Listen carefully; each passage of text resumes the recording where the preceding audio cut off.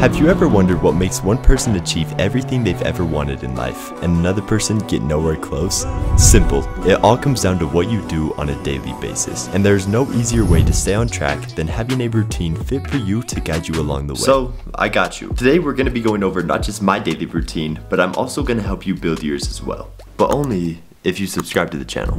All right, first things first, pull out something to take some sort of notes on. It could be a piece of paper, it could be your phone, whatever you want to do. Just have something you can write anything down. All right, so in order to be able to make this fit you and your daily routine, the things you're trying to achieve, help it to be in line with your daily activity, we need to first know what you are trying to achieve. That way we can accommodate this routine that you're gonna be building out on your own to fit your daily routine. So what I want you to do right now on that thing you're taking notes on, because I know you're taking notes because I'm looking quite dapper today. So I'm feeling educational. So you better be taking notes. This is gonna be a good one. I want you to write down some of the main goals that you are wanting to achieve by let's say the end of the year. I know it's basically August by the time you're seeing this video, but we still do have a few more months left in the year. You have plenty of time to achieve your goals. So write out some of the goals you want to achieve by the end of the year. You don't have to be too specific with your goals you're trying to achieve. Just list out some rough bullet points. So for example, mine that I have written down are going to be eat cleaner, get better sleep overall, I want to improve my relationships. I want to have more activities in my daily routine, basically just getting out of my very consistent, boring schedule. And then I want to complete a project I've been working on. It doesn't matter how many points you have or how little points you have, just write down all of the things you're trying to achieve and we could go from there. So I want you to write down your list and the schedule we're creating has to fit in all of the important points for you. So if you have like a million points you listed out, just note down like what some of the top ones actually are. That way we could come back to this when we're creating the schedule schedule because we're gonna want our schedule to fit all of these goals in, as many as possible. Otherwise, it's not gonna be a good schedule because it's not getting you to where you wanna go. So all of these things that you listed out favorited to be your ones you want in your routine, these are going to be your daily non-negotiables. This meaning you have to somehow fit these in every single day, ideally, for it to be a valid schedule. So now that we have these, the next step is going to be jumping over and actually start creating your daily schedule. Now this is a lot easier said than done take it from me. So first things first, what we're gonna do, and I'm gonna be doing this all along with you with my schedule I've done in the past, just so you know what's works for me, some of the corrections I made, and some of the mistakes I've made. We're gonna start off on when you wanna wake up. So personally for me, I've been wanting to wake up around 8 a.m. It just seems to be what works for me. So start off there. Start out a time on when you wanna wake up. So let me pull up my daily schedule. I'll put it up on screen here just so you can kind of follow along with me. As I'm going over this, I want you to think about where you should be putting stuff on your schedule based on how mine looks. So starting off here, I have my first ever attempt at scheduling my day. Um, this is a weekday, so this is Monday through Friday. I was basically running this exact same schedule. I had my morning block after I woke up. I had that for about an hour, 15 minutes. This is where I would do some of my more tedious tasks or like my things I do every single day without fail, like morning sunlight, meditate, stuff like that. From there, I jumped into my morning work session slash the time when I get would get ready. So this would be be like me planning out my day, for example, or doing some of those tasks that I just want to get out of the way first thing in the morning, and that I would also get ready in this time frame,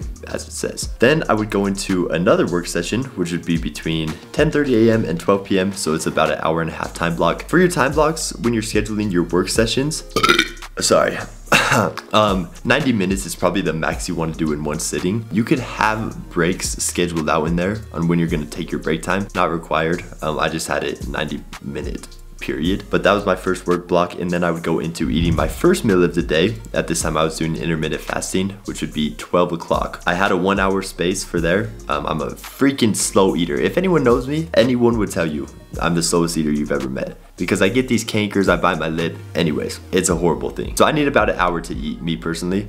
Not ideal, but it'll work. Um, then I went into another hour long work session. I would then do some learning and notes. Um, this was just in preparation for this project I've been doing. I was doing this routine about a year ago now. So this was just me getting in preparation. So this was helping me achieve that goal. Looking back at my goals that I have set out for myself, eating cleaner, I have about an hour work period or an hour eating block which is where I could eat cleaner if I wanted to. Better sleep, I had enough time blocked out for my sleep so far as we can see. And I've also worked on completing my project. So those are some of the main things that we have blocked out so far. Keep note of that. Then I have another work session here. It's about two and a half hours. I probably could have put a manual break in here, but as I'm working, I kind of just know. That's the thing, you don't have to make your schedule like so it works for other people. It just has to work for you. Then I would get home from work and I would have my family time. So that is me building better relationships. I had family time blocked out on there so I knew every single day till 8.15 p.m. I would be doing family time. I wouldn't worry about any work, just being with my family.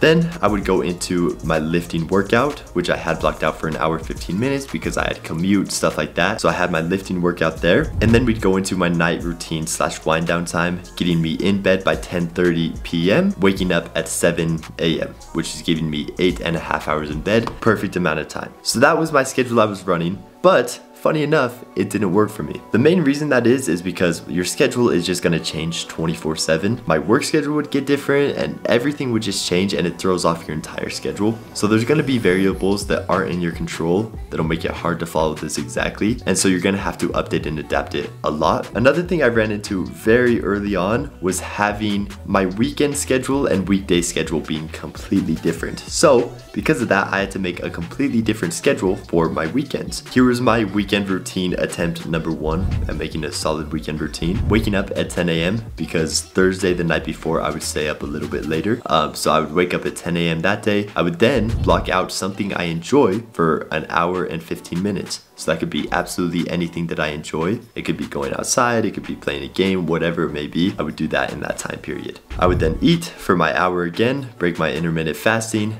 get ready for about 45 minutes or so. I would then work slash film any videos I have or any work I had to get done in that period. I would have some time to do that and then I would jump into my indoor workout. Super quick 45 minute workout. After that, it cut off on my screenshot, but I would just hang out with family and friends. So I would dedicate the rest of that day to family and friends time. So that there, that schedule was pretty good. It fit almost all of my goals into it, but it just was not working for me. It didn't hold me very accountable, so I didn't follow it that exactly. There'd be some days I'm like, oh, I could go 15 minutes over here, 15 minutes over here, which when you start doing that, your entire schedule is gonna go to crap. You might as well not be following the schedule. So because of that and my goals changing overall, I had to create a new schedule, which is what you're gonna be seeing on screen here. So this was attempt two, kind of attempt two, it's a lot more realistically. Um, I made so many little tweaks to this, but this is the one I'm currently working with. So you might be saying, Carson, you had a lot more free time on these other this other schedule. How is this a better schedule for you? Well, I'm doing something I enjoy in the morning, Muay Thai and Jiu-Jitsu. For me, the more I can have things written out and an exact time frame of when I need to do them, the better. It just works for me. It doesn't happen for everyone. That just works for me. So that's why you need to test and figure out what works for you. As you start doing things as well, don't be too particular on the time frames you have set out for your schedule as you're creating this first draft of it. Because as you start doing them, you're gonna figure out things take a little bit different time and it's not actually taking as long as you're thinking it will or vice versa. So you can change the durations of things and make more time for other things if needed. Just figuring out how long things are gonna take as you start doing them. It'll take a few months for this to happen. So it's not like a huge rush. A couple things to note while making your routine before you get started and a few just overall health things that every single person should be having on their schedule. Eight and a half hours in bed is ideal dedicated to sleeping time. Some people it might take them a little bit to fall asleep, so on and so forth. If that's the case for you, take a little bit longer to wind down, but you should have about eight and a half hours in bed dedicated to sleep. It's very important to have chill time. You shouldn't be working 24 7. If so, you might highly regret that later on in your life. This is a very controversial thing for a lot of people, especially with the hustle culture a lot of us have. But just know things could change every single day. Any day you wake up, nothing's guaranteed. Spend the time with the people you care about in your life because tomorrow is not guaranteed. Make sure you're filling out your entire day schedule wise. Otherwise, in those little break periods, you're gonna have nothing to do. You're not gonna have any direction and you're gonna use it doing nothing. You're gonna watch TikTok or waste that time. So make sure your entire day is filled out to your schedule. Along with that, things you're doing are going to take as long as you allocate them. So what does this mean? Let's say you have a task that generally you could get done in 10 minutes if you were rushing as fast as possible, but you have 30 minutes blocked out on your calendar to do it, it's gonna take that entire 30 minutes. I'm not sure why this is a thing for people, but it's true and it happens to me all the time. Like I catch myself, I'm like, oh, okay, I don't got too much on my to-do list today. This will be an easy day. It somehow still still takes the entire day because I get distracted easier, I'm not as locked in. It happens. So make the duration for each activity as short as possible, otherwise you will use that entire time. Finally, it's very important to have an in-depth list for each activity on your calendar that you should be following and marking off. So basically like some sort of to-do list that's giving you direction for each category. So you can't just have a work block blocked out, sit down at your desk and magically expect to be able to work fine. You have to have a to-do list that you need to be working on in that work block. So it's kind of levels to it, but having this solid framework of this entire calendar telling you what you should be doing when, you're gonna be literally more productive than 99% of the people in this world. So now with all of that information, you should have a general direction on how to create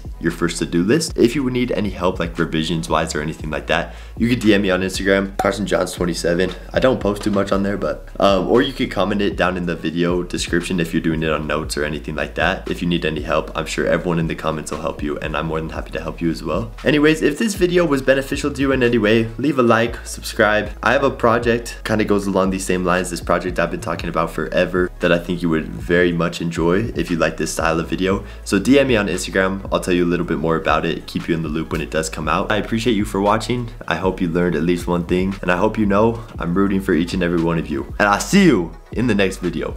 Peace.